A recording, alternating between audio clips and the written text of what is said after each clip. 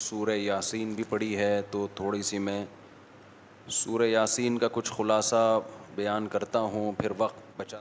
सूर यासीन बहुत अहम सूरत है। इसमें अल्लाह ताला ने वाक़यात भी बयान किए, अपनी कुदरत के, की बातें भी बयान की, और मौत के बाद दोबारा ज़िंदगी पर जो एतराज़ात होते हैं, उसको भी अल्लाह ने बयान किया। कुरान अलहम से लेके वन्नास तक एक ही बात समझाता है, हम आज़ाद नहीं हैं, हम किसी के ग़ुलाम हैं।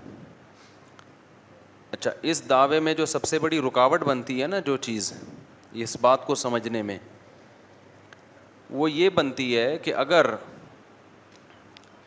कामयाबी इसका नाम है कि अल्लाह की ग़ुलामी इख्तियार की जाए तो फिर वो लोग जो काफिर हैं वो गैर मुस्लिम हैं, वो जो मानते ही नहीं अल्लाह को, उनकी इतनी तरक्की क्यों है? देखने में कामयाब कौन लगता है? वो लोग लगते हैं। कुरान इन मजामी को बार बार दोहराता रहता है। सुर यासीन में भी अल्लाह ने दोहराया है कि इस ज़ाहरी तरक्की से, इस ज़ाहरी चमक धमक से, इस ज़ाहरी तयश और ऐश परस्ती से धोखा मत खाओ। ये दुनिया इम्तिहान गाह है एग्ज़ामिनेशन हॉल है एग्ज़ामिनेशन हॉल में रिज़ल्ट अनाउंस नहीं होता रिज़ल्ट की अनाउंसमेंट के लिए अल्लाह ने आखिरत का दिन रखा है। आखिरत कायम होगी।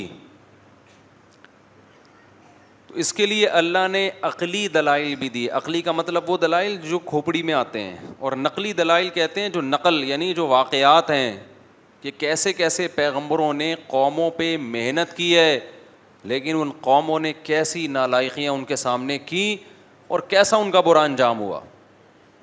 तो हम यहाँ से शुरू करते हैं। अल्लाह ने फरमाया वज़रिबलहम असहाबलकरिया ए नबी, आप इनको एक बस्ती वालों का वाक़ सुनाएँ। ये हज़रत ईसा सलाम के दौर के करीब की कोई बस्ती है। ईद जा अहल मुरसलून, उन बस्ती वालों के पास पैगंबर आए। अल्लाह ने दो पैगंबरों को भेजा, कौम ने इनकार किया फ़ाज़ना बिसालिन दोनों को अल्लाह ने ताकत दी, तीसरे के ज़रिए भी। तीन पैगंबर हो गए। बनी इसराइल में ना एक एक वक्त में कई कई पैगंबर आए हैं। कई कई पैगंबर आए हैं। फ़क़ालू, इन्ना इलैकुम मुरसलून, कहने लगे, हमें किसकी, तुम्हारी तरफ़ भेजा गया है। कौलू, मा अन तुम बशरुम मिसलुना लोग कहने लगे, आप हमारी तरह के इंसान हैं। तो उन्होंने कहा, आप तो हमारी तरह के इंसान हैं। कौलू रब्बुना यालमसलून कौलू इन्ना ततयर नाबिकुम जब भी पैगंबरों ने जाके दावत दी है ना तो हुआ ये कि खुशहाल कौमों में पैगंबर गए। तो अल्लाह की तरफ़ से उन कौमों पे आजमाइशें आना शुरू हुई। कहत साली शुरू हो गई कि शायद अब ये तवज्जो करें अल्लाह की तरफ़। उनके मालों का नुकसान होना शुरू तो उन्होंने ये नुकसान भी पैगंबरों के खाते में डाल दिया। माज अल्लाह तुम्हारी नहूसत है माज अल्लाह तो वो कहने लगे कि आपकी बदशगुनी है। जब से आप लोग आए हैं ना, ये कभी कहत हो रहा है, कभी माल में नुकसान, हालाँकि अल्लाह उनको मुतवजह कर रहा है कि इनकी बात मानो, लेकिन उन्होंने किस पे डाल दिए? पैगम्बरों पे। इनकी वजह से ऐसा हो रहा है। तो कहने लगे पैगंबर ने फरमाया, तुम्हारी नहूसत तुम्हारे साथ है। ये तुम्हारी बदमालियों की नहूसत है। वजह अमिन अक्सल मदीनती रजुल यसा। कौम को वो तीनों पैगंबर समझा रहे हैं। कौम की समझ में नहीं आ रहा। अब ये कौन सा इलाका था? तारीख़ खामोश है। बहुत से हजरात ने कहा इंताकिया नहीं है तुर्की का। जहाँ भी जलजल आया हुआ है, उस जगह का वाक़ है। और एक कब्र भी थी वहाँ पे। मैं जब चंद साल पहले गया था तो वो इस शख्स की कब्र बताई जाती है मिन अक्सल मदीनती रजुल यसा। कुरान कहता है, शहर के किनारे से एक शख्स दौड़ता हुआ आया। तो वो जो दौड़ता हुआ शख्स आया ना, उसकी कब्र भी वहाँ पर है। अब हकीकत है या नहीं है, लेकिन मशहूर है कि ये उसी की कब्र है, मगर जलजिले में वो सब सब मिट्टी हो गए। वो सारी तारीख़ी चीज़ें ख़त्म हो गई हैं जल्द अभी जो इंताकिया में आए तो कुरान कहता है कि शहर के किनारे से एक शख्स दौड़ता हुआ आया। कौल या कौम तबीमरसलिन कहने लगा, ए मेरी कौम, ये पैगंबर हैं, इनको फॉलो करो, इनका इनकार मत करो। कैसा जज्बा था उसमें। उसको जब यकीन हो गया ना, ये पैगंबर हैं तो कुरान कह रहे हैं, वो चलता हुआ नहीं आया, बल्कि दौड़ता हुआ। जो मुबल्लिग है ना, उसमें ये जज्बा होना चाहिए कि मैं जल से जल अपनी कौम को जहन्नम के अजाब से बचा लूँ, इसमें मैं ताख़ीर ना करूँ। उसका ये जज्बा था। जो इसराइली रिवायात हैं, उनमें है, जिसके बारे में हदीस में आता है कि ना उनका इनकार करो, ना इकरार करो, और बयान करने में कोई हरज भी नहीं है। नबी ने खुद इजाज़त दी। तो तौरात और इंजील में भी है ना इस तरह के वाक़ तो हबीब नजार उसका नाम है। नजार कहते हैं बढ़ई को। बढ़ई का काम किया करता था, जिसको क्या कहते हैं? अब आजकल इंग्लिश में क्या कहते हैं? कारपेंटर। कारपेंटर था, नाम उसका हबीब था। तो वो दौड़ता हुआ आया और कहने लगा ए मेरी कौम पैगम्बरों की इत्तबा करो। इतबीमल्लासलकुम अजरों वहम मोहतदून। देखो इनके अंदर दो ऐसी चीज़ें हैं जिससे पता चलता है कि ये वाकई पैगंबर हैं। नंबर एक इनकी बातें बिल्कुल ठीक हैं। ये तोहहीद की दावत दे रहे हैं जीना से बचने की दावत दे रहे हैं शराब से बचने की दावत दे रहे हैं। तो कितना अक्लमंद था वो शख्स जो बढ़ई का काम करता था लेकिन उसने कहा है मेरी कौम, ये दो सिफात इन में ऐसी हैं जिनसे साफ़ पता चलता है कि ये सच्चे लोग हैं, ये झूठे नहीं हैं। नंबर एक, ये तुमसे कोई अजर का मुतालबा नहीं कर रहे। इस दावत में इनका दुनिया का कोई फ़ायदा नहीं है, बल्कि पूरी कौम की मुखालफत। इससे पहले कुरान में है कि उन्होंने कहा कि हम आपको पत्थरों से मार के हलाक कर देंगे। ये धमकियाँ मिल रही थी उन पैगम्बरों को, रजम करेंगे। समझ रहे हो कि नहीं समझ रहे? यानी ऐसे ही कत्ल नहीं करेंगे, ज़मीन में गाड़ के पत्थरों से मार के हलाक कर देंगे अगर दावत से पीछे नहीं हटे, और वो फिर भी अपनी दावत से पीछे नहीं हटे। तो उस शख्स ने कहा कि देखो, इतनी बड़ी मौत की धमकी, और वो धमकी पर गालिब भी है कि ये अमल करेंगे, क्योंकि कौम ज़्यादा है, ये कितने ये तो थोड़े से हैं। इतनी बड़ी धमकी, ना इनका पैसों का मफाद, ना इनको अहदा चाहिए, ना रियासत चाहिए, और वहुम मुहतदून, और बात भी इनकी क्या है? दुरुस्त है। खुद भी, फिर उस पर खुद भी अमल कर रहे हैं। तो ऐसे लोगों की इतबा क्यों नहीं करते? समझ में आ रही है कि नहीं आ रही? है आज तो शख्स ने आगे कहा, वमा अली अबुदुल्लदी फ़तरानी। मुझे क्या हो गया कि मैं उस खुदा की इबादत ना करूँ जिसने मुझे पैदा किया? ये पैगंबर अपनी इबादत पे थोड़ी हमें लेकर आ रहे हैं। एक एक लफ्ज़ जो है ना समझने का है इस सूर्य यासीन का। ये पैगंबर हमें अपना ग़ुलाम नहीं बना रहे, हमें अपनी इबादत पे नहीं ला रहे। ये ये नहीं कह रहे कि हमारे हाथ चूमा करो, हमें सजदा किया करो। ना ना ना ना ना। ये इंट्रोडक्शन किसका करवा रहे हैं? अल्लाह का, जिसने पैदा किया। कह रहे हैं, उसकी इबादत करो। तालीमत। तो उस नौजवान ने क्या कहा? वमाली अला आबुदुल्लदी अरे, मुझे क्या हो गया? अंदाज देखो तबलीग का। मुझे क्या हो गया?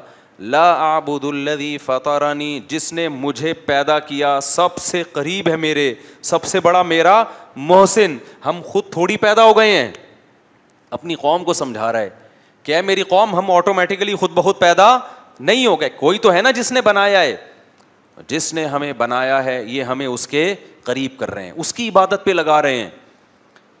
वह इलही ही तुरजाउन और हमने लौट के भी उधर ही जाना है। एंड हमारा क्या होगा?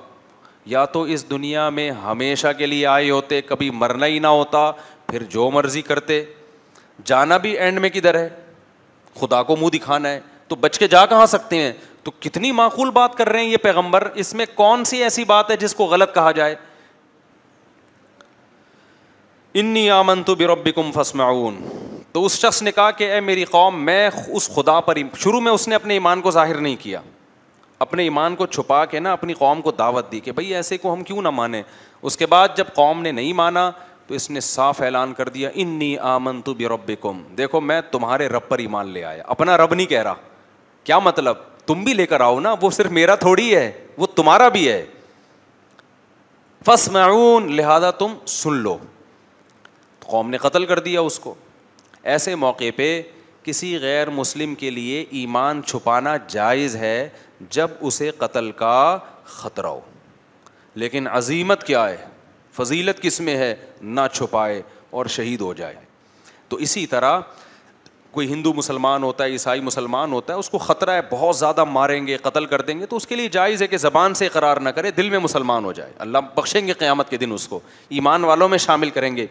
लेकिन अगर वो डर जाता है कि नहीं भाई, मुझे मार दो। मैं शहादत के लिए तैयार हूँ। तो ये बहुत बड़ी शहादत है। इसमें बहुत बड़ा अजर मिलेगा, जैसे कि इसको मिला। ये डट गया।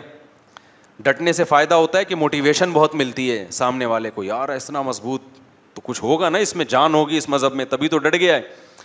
तो वो जो नजार था ना, वो भी डट गया।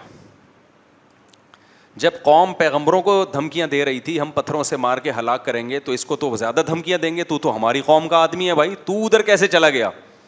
तो इसने कहा इन्नी आमन तो भी रब कुम फसमून मैं रब पे ईमान ले आया हूँ जैसी बलागत है। कीलत खुलिल जन्ना। अल्लाह कहते हैं हमने कहा दाखिल हो जा जन्नत। हालाँकि कुरान को यूँ बयान करना चाहिए था कि वो ईमान ले आया, लोगों ने पकड़ा, उसको धमकियाँ दी, उसने कहा, नहीं, मैं अपने दीन पे कायम रहूँगा। लोगों ने कत्ल कर दिया, जब कत्ल कर दिया तो उसको कब्र में रखा गया, फिर जब कब्र में रखा गया तो हिसाब व किताब हुआ, फिर हिसाब व किताब में पास हो गया। जब पास हो गया तो अल्लाह ने कहा, चल, इस कब्र को हम तेरे लिए क्या बना देते हैं? जन्नत, और जन्नत में दाखिल हो जा। समझ में आ रही है बात? कुरान सारे वाक़ात को बीच में क्या करता है? हज़फ। हज़फ कर दिए कुरान ने सारे वाक़ात क्यों? जब उसने कहा ना आमन तो बिरबिकुम फसमाउन ए लोगों, में ईमान ले आया। कुरान कहता है, जन्नत में दाखिल। क्या मतलब? फ़ौरन शहीद कर दिया गया और इधर आँख बंद हुई है, उधर जन्नत के दरवाजे उसके लिए खुल गए। इससे पता चला कि इधर और उधर में ज़्यादा डिस्टेंस नेक लोगों के लिए, ज़्यादा डिस्टेंस नहीं है। अब सवाल पैदा होता है, भाई, हिसाब तो होता है ना? देखो, यहाँ जन्नत से मुराद, वो जन्नत नहीं है। जो आखिरत में मिलेगी, क्योंकि आखिरत तो अभी कायम ही नहीं हुई ना। अबे, क्या हो गया? अबे, पागल बैठा हूँ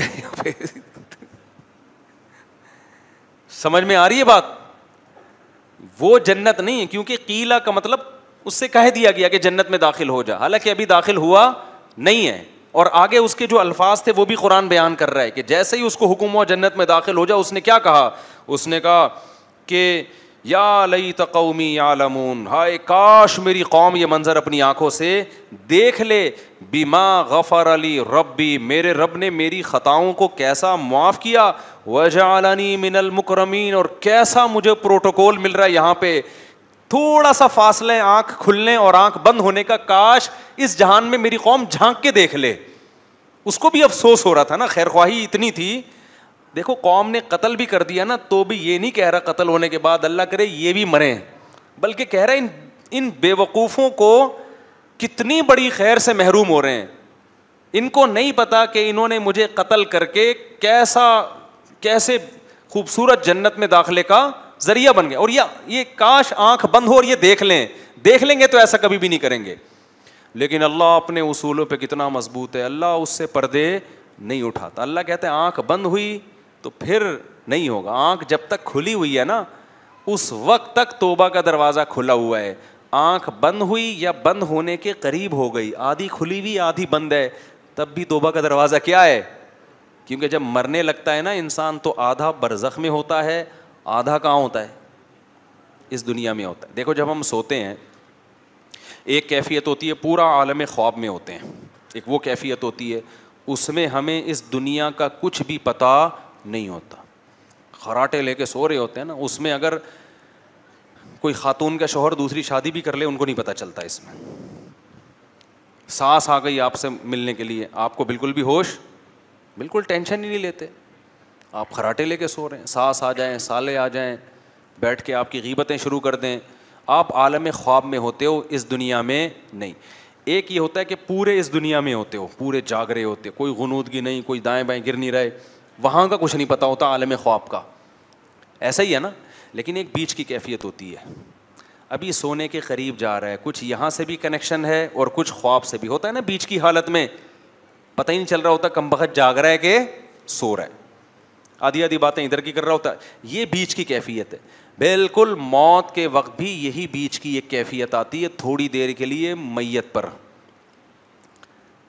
जब हम दुनिया से जाते हैं ना, एक कैफियत होती है, पूरे यहाँ पर होते हैं इस जहान में। वहाँ से अभी कनेक्शन बहाल, बोलो, नहीं। ऐसी कंडीशन में तोबा कबूल होगी।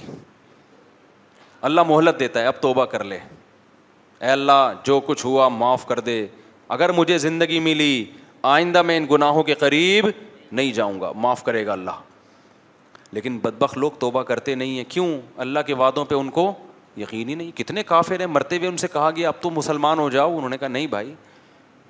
नबी के चचा थे ना, उनसे कहा गया कि अब इस्लाम कबूल कर लें। उन्होंने कहा, नहीं।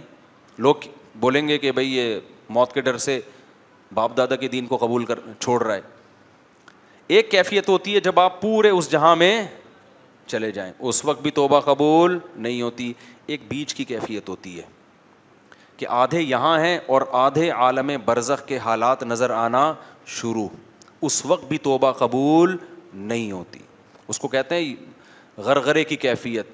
हदीस में आता है इन अल्लाह यकबलु तोबत अबदी ही मालम युगर अल्लाह उस वक्त तक बंदे की तोबा कबूल करता है जब तक वो गरगरे की कैफियत में नहीं होता।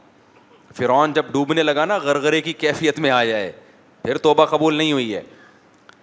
तो अब ये ये कुरान ने बीच का हिस्सा क्यों हजफ कर दिया? ये बताने के लिए कि इधर उसकी रूह निकली है और उधर अल्लाह ने उसको बरज़ख की जो जन्नत है, असल जन्नत तो आखिरत में है, लेकिन कब्र ही को और जो आलम बरज़ख है, उसी को अल्लाह ताला इज़्ज़त की जगह बना देते हैं। इस आयत से अजाब कब्र और सवाब कब्र भी साबित होता है। बहुत से लोग कहते हैं, मौत के बाद कुछ भी नहीं है, वो तो आखिरत में ही होगा। ना ना ना ना ना। नेक लोगों का इकराम मौत के फ़ौर बाद शुरू हो जाता है। और ऐसा मालूम होता है कि इसकी को जो अल्लाह ने इज़्ज़त दी, वो कब्र में जाने से पहले दी है। वरना तो कब्र में फरिश्ते आते हैं ना, सवाल पूछते हैं।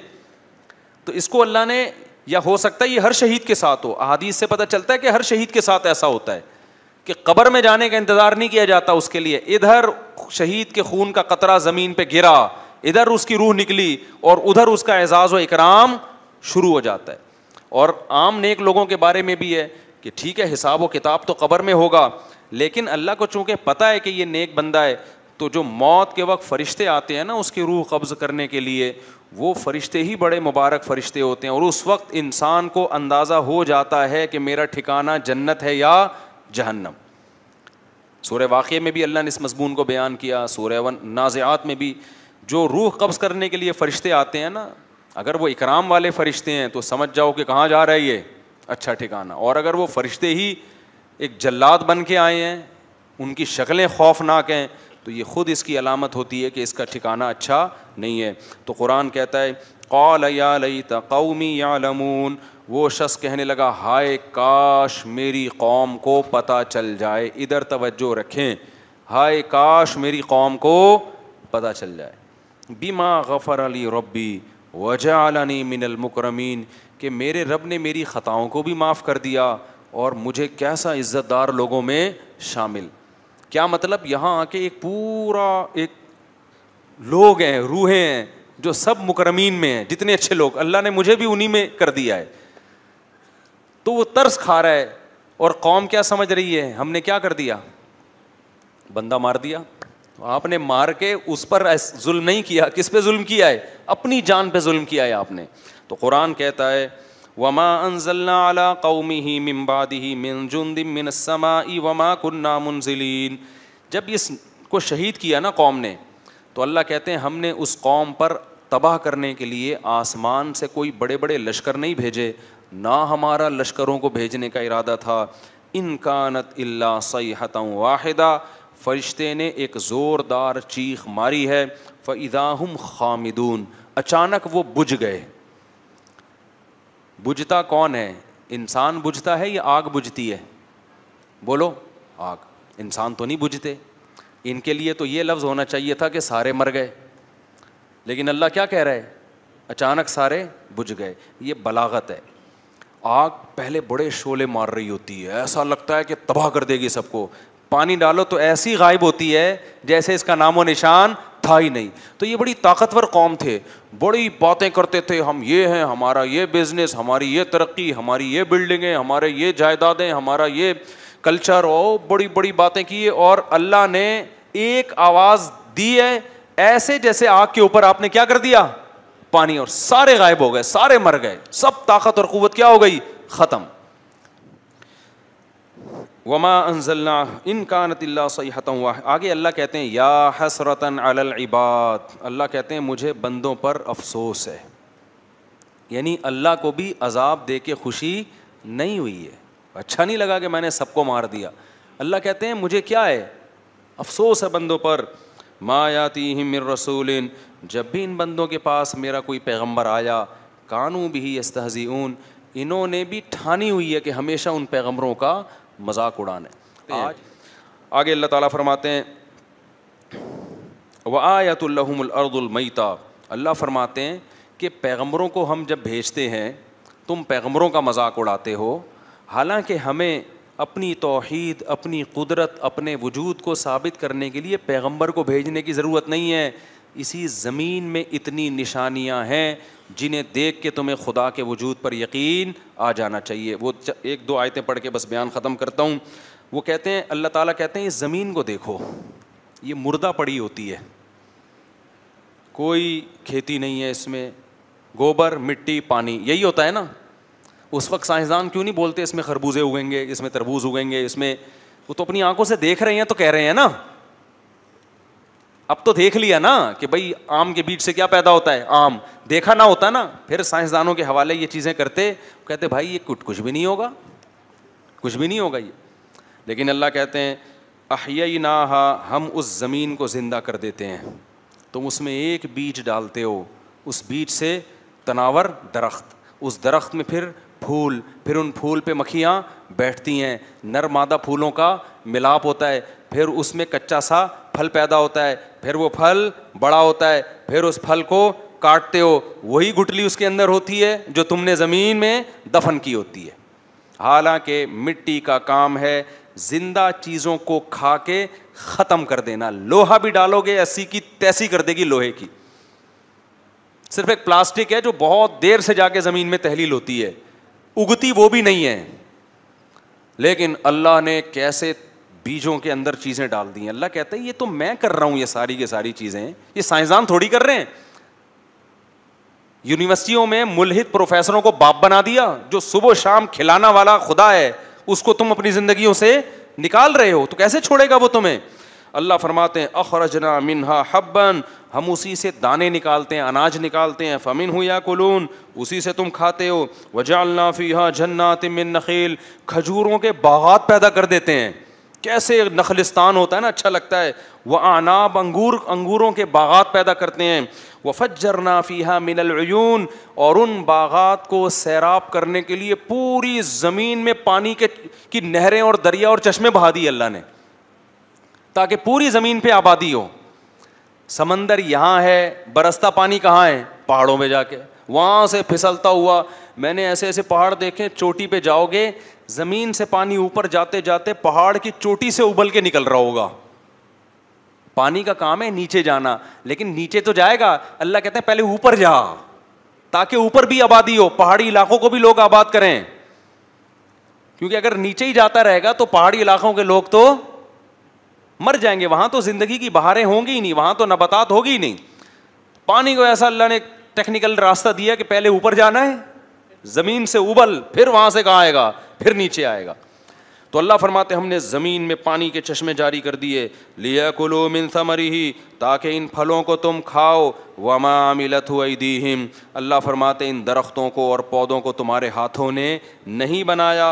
अफला यशकुरून, शुक्र अदा क्यों नहीं करते? बस एक आयत सुबहान अल्लदी खलकल अजवाज देखो, अभी तक जो अल्लाह का अंदाज़ कलाम था, वो ये था कि अल्लाह अपनी तारीफ़ें करके नहीं बता रहे थे कि हमने बारिशें बरसाएँ ज़मीन में चश्मे जारी कर दिए और दरख्त पैदा कर दिए।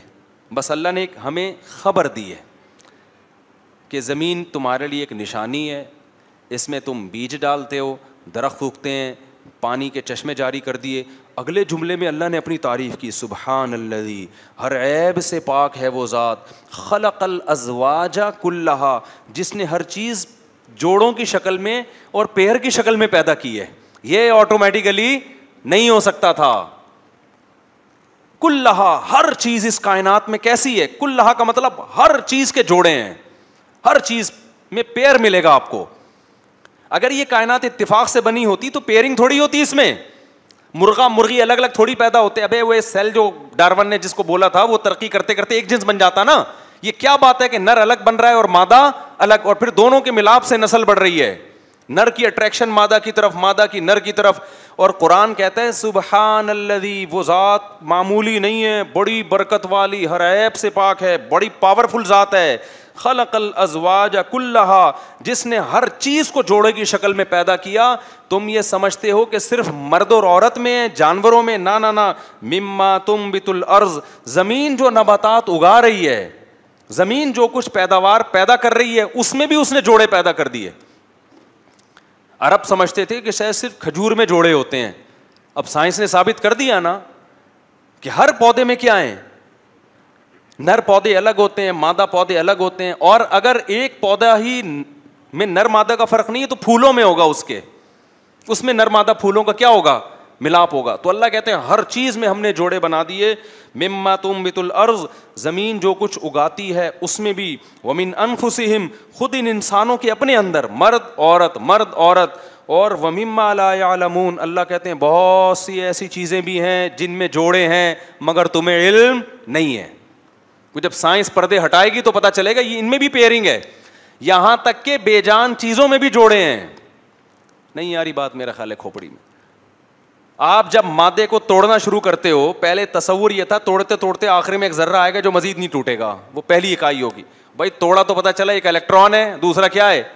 ये भी तो जोड़े हैं ना कि नहीं? ये भी तो जोड़ा है ना? फरमाते हैं, मिम्मा तुम बितुल अर्दु वमिन अनफुसिहिम व मिम्मा ला बहुत सी ऐसी चीज़ें जिनका इनको इल्म ही नहीं है। हमने उनको भी जोड़ों की शक्ल में पैदा किया। तो ये पेयरिंग जोड़ों का निज़ाम, ये डॉर्विन के नज़रिया, इरतका के नतीजे में नहीं हो सकता। नेचर इतनी समझदार नहीं हो सकती कि ऐसे इन लोगों को या मखलूक को पैदा करना है कि जोड़े जोड़े बन के आए वो। मखलूक नेचर इतनी समझदार नहीं हो सकती। तो ये अल्लाह का काम है। तो अल्लाह कह रहे हैं कि हम पैगंबरों की बातें समझ में नहीं आ रही हैं कॉमन सेंस की बातें तो समझ लो। तो अल्लाह ताला से दुआ है कि